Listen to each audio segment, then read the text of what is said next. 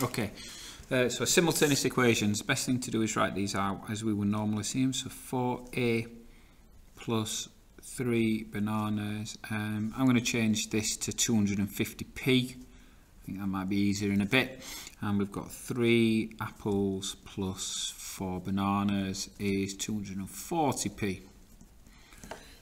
Um, so we need to match up. I'm going to match up my b. So I need to times this one by 4 this one by 3. Um, that's going to give me uh, two new equations. So 16 A's plus 12 B's is now 1000p and this one by 3 is 9 apples plus 4 times 3, there's my 12 bananas. I'm just going to double check this one. Uh, 240 times 3 120. Okay, and now we've got them matched up, we need to subtract them and that's going to get rid of my bananas. So we've got seven apples, the bananas disappear and we've got 1000, take away 720 is 280p. So one apple, divide that by 7, must have been 40p. So we know that down here, we can now put in one apple equals 40p. Okay, now let's have a look at the uh, banana. So we can pick any of these. I'm going to pick the uh, four apples plus three bananas is £2.50 or 250p. But we now know that one apple is 40p. So four apples is going to be 160p plus three bananas is 250p. Okay, so using that information from earlier, take away my 160, use my calculator just to make sure, 250 take away 160 is 90p, so one banana must have been 30p, okay. So set them up, balance the bananas, subtract, and once you found one, go away and find the other, and that'd be five marks. Okay, question 21 uh, looks like this. Uh, I'm going to draw a Venn diagram for this. So, so my two circles, this will make it much easier. Oops. And this is going to represent A, which are even numbers, and this circle is going to represent B, which are multiples of 6. Now, we're only interested, this is called a universal set, so we're not interested in all the even numbers and all the multiples of 3. We're only interested in numbers 1 to 10. Okay, so uh, if we think of the numbers that can go in the middle that are even and multiples of 3, that's going to be 6. Uh, and then we can start to think of even numbers 2, 4, 6 we've already got, 8 and 10. And then multiples of 3, that's going to be 3, 6, we've already got 9, and that's that. Uh, which leaves some that are neither, so we've got these go on the outside. So we've got 1, 2, 3, 4, 5, and 7.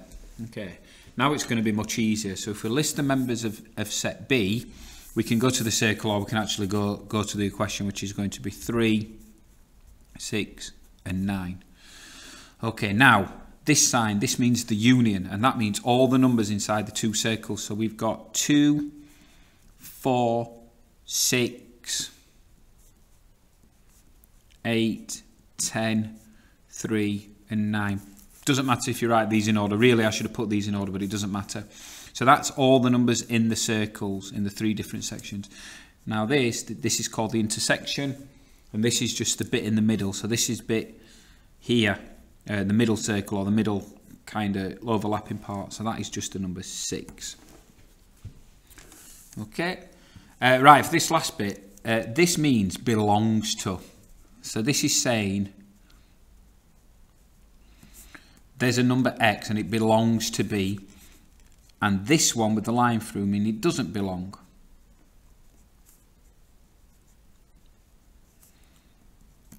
Okay. So x belongs to b. So that means x must be in this circle here. It could be 3, 6 or 9. But x doesn't belong to A. Okay, so it doesn't belong. If we can see this 6, it belongs to A and B. So if it belongs to B, but it doesn't belong to A, it just must be the numbers 3 or 9. That's where that question finishes there. Okay, question 22. Let's bring it down a minute. Okay, so this is a reverse percentage. So as we can see, the price has been uh, the price of the car has been reduced by 25% and it's now 7,200. Now what you mustn't do, you mustn't work out 25% and add it on. Um, that's not the correct way. So a couple of ways to do this. Um, if it's had 25% taken off it, we know that 75% of the value is worth 7,200. And we can use this fact to go and work out 100%. So I'm going to divide this by 3 and I get 25%.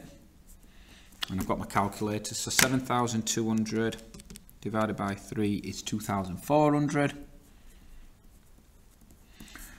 Uh, and then we're going to times this by 4 and I get 100% which will be the original. So it must have been £9,600. Okay, that's one way to do it. The other way is you can think of the multiplier for a 25% decrease. So if we think about 100, take away 25 is the 75%, but we want the multiplier. We want that as 0.75. Now the quickest way to do all these is take the value and divide it by that multiplier. Okay, we should get the 9,600. Okay, so two ways. Set it up as what percentage being reduced and work back to 100, or find the decimal multiplier for what percentage and then just divide by that. And that would be your three marks, 9,600 pounds. Down there. Okay. Okay, last question. Um, tested a coin to see if it was biased, to see if it was fair or not. They each threw the coin a number of times, and their first question is which one of these people will have the best estimate? Well, it will be Liz, um, because she's done the most amount of trials. She's thrown it the most. So Liz, because she has done the most trials. Okay. The more you do it, the more accurate it's going to be.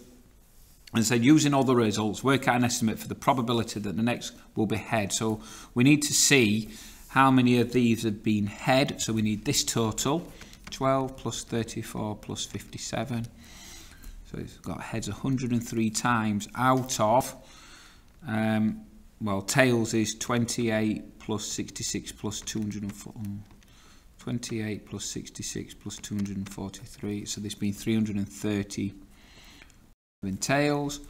Um, so total will be 103 plus 337,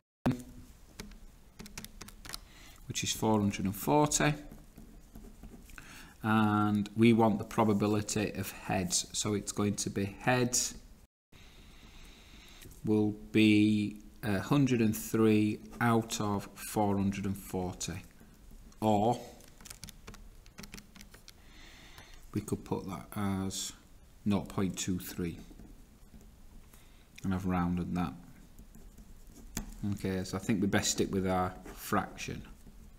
Okay there we go. Sorry it was off there a bit